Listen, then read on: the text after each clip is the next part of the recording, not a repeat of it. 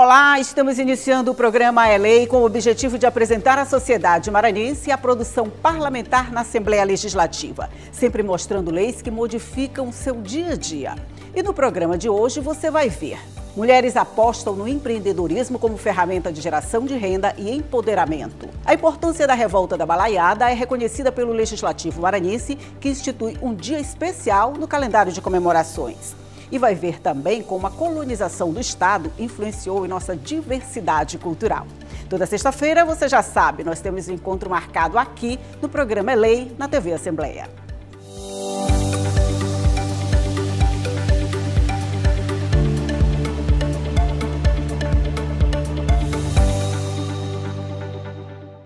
O empreendedorismo feminino tem crescido muito no Brasil. As mulheres descobriram que elas podem ser as protagonistas de sua própria história e, ao mesmo tempo, incentivar no empoderamento de outras, ajudando a criar laços que vão gerando benefícios para toda a sociedade. E para acelerar ainda mais esse processo, a Assembleia Legislativa instituiu a Semana Estadual do Empreendedorismo Feminino. A lei já está em vigor e tem ajudado a inspirar mulheres que desejam empreender.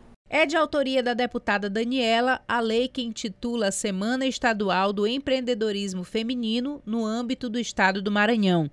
O auditório Neiva Moreira, na Assembleia Legislativa, foi palco do seminário para fortalecer o protagonismo de jovens mulheres, liderado pela Plan International Brasil, em parceria com a Procuradoria da Mulher e o Sebrae Maranhão. A diretora da Escola Superior do Ministério Público, Carla Farias, ressaltou a importância do tripé Educação, Trabalho e Cidadania na composição do empreendedorismo feminino e também lembrou de outra lei de autoria da deputada Daniela, que institui o Dia Estadual da Menina. Nós podemos criar um tripé de muita sustentação para as meninas e mulheres maranhenses, né? baseado tanto na educação, ou seja, na formação, no, no, trabalho e na cidadania. Nós entendemos que é através da cidadania que as meninas vão, que o Ministério Público pode entrar aí, oferecendo uma difusão de direitos para que as meninas sejam realmente empoderadas do seu lugar no mundo e sejam efetivamente poderosas, ocupando trabalhos cada vez mais importantes.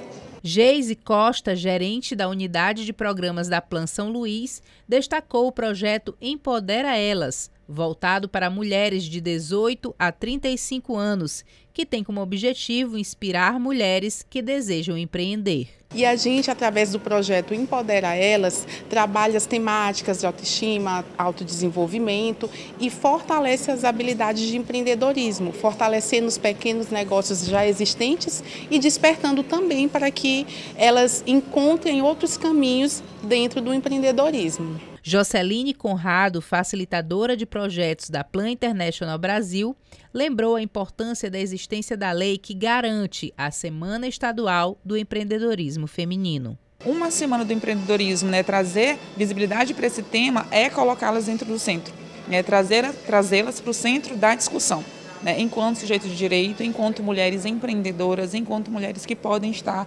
alocadas dentro da economia criativa, dentro da economia local é, do Estado né, e da Grande Ilha. Foram discutidos vários temas, como empoderamento, geração de renda, gestão de negócios e mentoria para o início de empreendimentos. Muitas das mulheres viram e sentiram seguranças que elas poderiam fazer diferente, que também elas poderiam é, ter o seu próprio trabalho, ter o seu próprio sustento, né, dentro de casa, da forma que fosse, né. Então, assim, essas instituições como a Plan Internacional, como o SEBRAE, né, então é muito importante para elas se sentirem cada vez mais seguras, para elas terem um apoio a quem procurar, a quem oferecer os projetos, né, os trabalhos, as orientações, treinamentos. Então, assim, a gente do Sebrae Maranhão ficou muito feliz em receber esse convite, essa participação. Com o objetivo de mobilizar toda a sociedade para a luta contra o HIV, o Sistema de Saúde Pública, o SUS, oferece gratuitamente um conjunto de medidas, como teste rápido e distribuição de preservativos masculinos e femininos. Essas medidas já estão determinadas por lei, que está em vigor desde 1987. O objetivo é mobilizar toda a sociedade para a luta contra o HIV.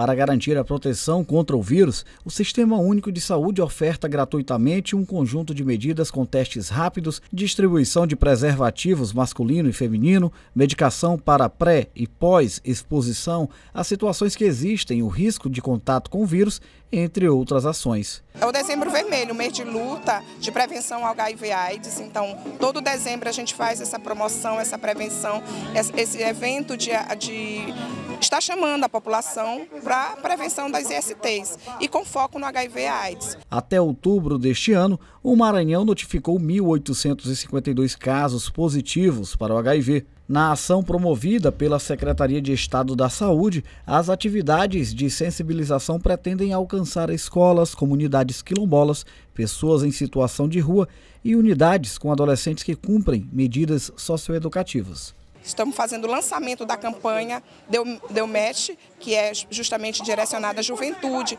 é que estipou, combinou. Então a gente tem essa preocupação, porque ainda é a faixa etária mais acometida com HIV AIDS. Então a gente, nesse momento, está chamando a população, todo mundo com uma abertura bem legal. A seguir, você vai conhecer mais leis que mudam a sua vida. O Elei volta já já, é um instante só. A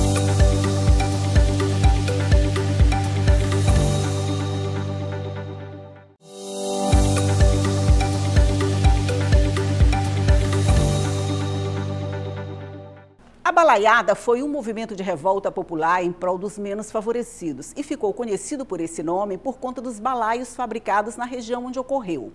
Por causa de sua importância na história do Maranhão, os nossos deputados aprovaram uma lei que determina o dia 13 de dezembro como Dia Estadual da Balaiada, uma forma de valorizar nossas origens e não nos deixar esquecer de quem somos, de onde viemos e para onde vamos.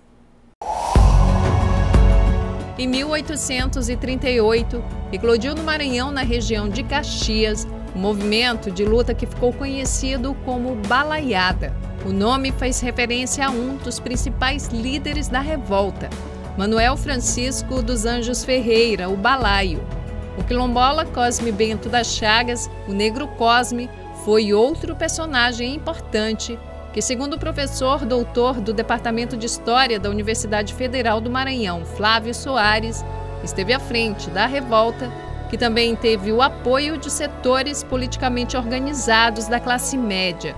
Os, os balaios eram o povo da época, né? especialmente camponeses.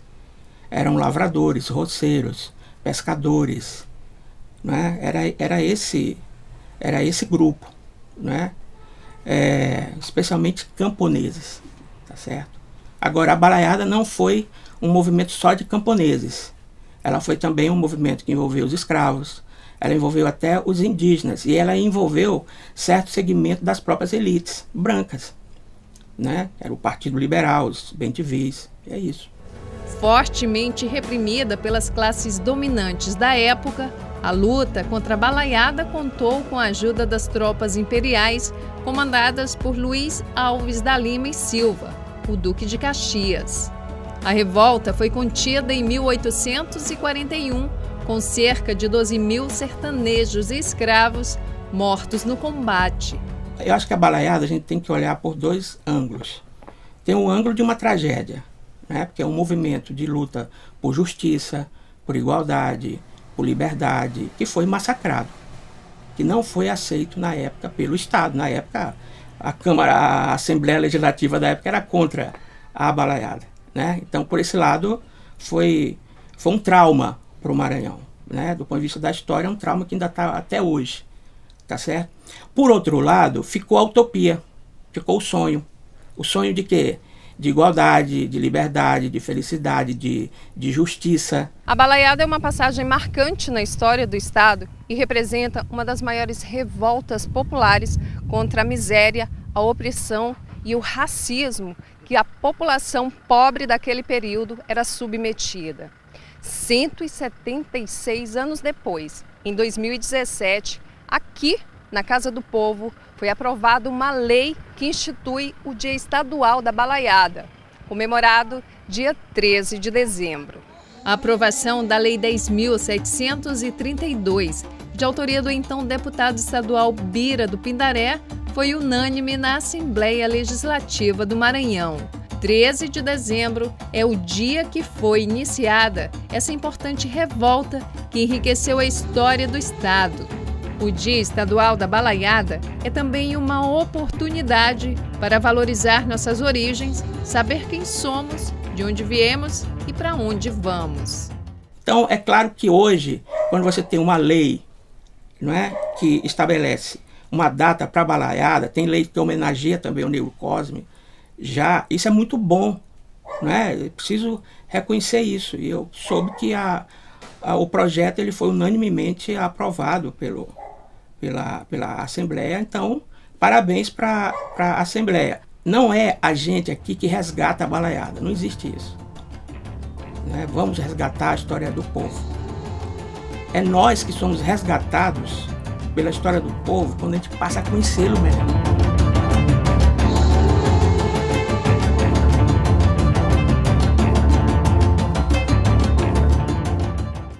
Cultura maranhense é resultado da influência das populações que ocuparam o Estado ao longo de sua colonização. Por isso, nossa diversidade é tão vasta e tão rica. E essa diversidade é reconhecida através da lei que institui o Dia Estadual da Cultura. O Legislativo Maranhense aprovou o projeto como forma de preservar nossas características e manter viva a nossa identidade. A valorização cultural e histórica de uma comunidade é instrumento essencial na construção de uma sociedade consolidada em bases sólidas e preparada para o futuro. É fundamental que a população tenha conhecimento sobre raízes, tradições e motivações que levaram a sociedade ao estado atual.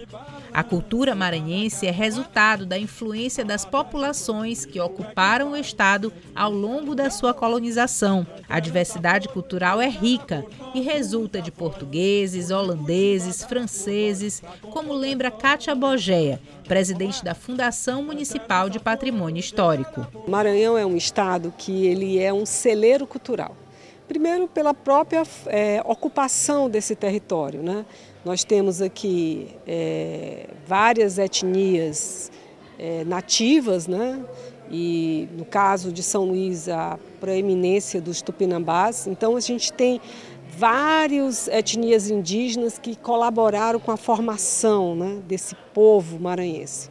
E aí chegam é, os franceses, que também trouxeram suas referências culturais, holandeses, os portugueses, uma grande colônia inglesa. A diversidade cultural existente no Maranhão é reconhecida através da Lei 9744 de 2012, que institui o Dia Estadual da Cultura. Yuri Arruda, secretário de Estado da Cultura, enaltece a importância do tema. É uma marca né, para gente, a gente lembrar da importância da nossa, da nossa cultura, de todas as atividades culturais que nosso Estado desenvolve e principalmente de mostrar a nossa cultura para todo o estado do Maranhão, mas também para todo o Brasil. Então é um dia muito importante, um dia que acontece diversas atividades culturais dentro da programação do estado e que com certeza cada ano a gente vai aumentar e ainda mais levar cultura, principalmente nesse dia, para todo o nosso estado e para o nosso Brasil. Conhecendo a própria cultura, o indivíduo compreende a importância de mantê-la viva na memória e valoriza a cultura como forma de preservar suas características. Sendo assim, preservar a culinária as paisagens, as festas populares tradicionais, as obras de arte e qualquer outro elemento cultural é manter sua identidade. Sou passarinho que traz a primavera,